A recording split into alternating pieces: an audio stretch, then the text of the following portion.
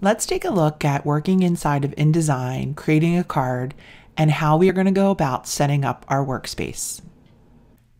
I come to Adobe InDesign and I can see I have my beginning screen. I am going to come on up to File, New, and I'm going to create a new document. As I come, I see this opening window for my new document. I can decide how I want the orientation, if I want it to be portrait or landscape. I also have all these different units of measurements. I'm going to stick with inches and I'm going to go for a card that's an A7, which measures 5 inches by 7 inches. So I'm going to put my white width in at 5 and my height in at 7. Since this is a card, I do want facing pages. I'm not going to worry about the number of pages, I can add those easily. I can take a look at columns. If I want to have columns, especially if I was laying out a newspaper or a magazine, columns would be very important. The gutter is the width between the columns. I'm not going to worry so much about columns. I'm going to put it at one. And then I can think about margins. Right now, my margins are at 0.025.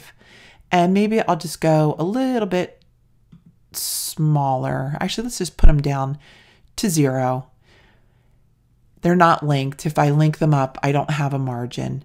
And I am going to come on down, see what else we have. We have the bleed and the slug. And a lot of times when you're working with the printer, you would talk to the printer about the bleed. Sometimes when you're printing something, you'll actually pull an image over the edge. I'm just going to leave it at zero for right now.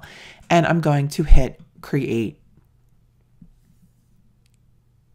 I have successfully set up my first workspace. This is for my card. I know that my card is going to have an opening page, an inside page, and a back page. I can see right now that this is set to A master. I'm not going to worry so much about changing it up from the A master. I'm going to keep it as it is.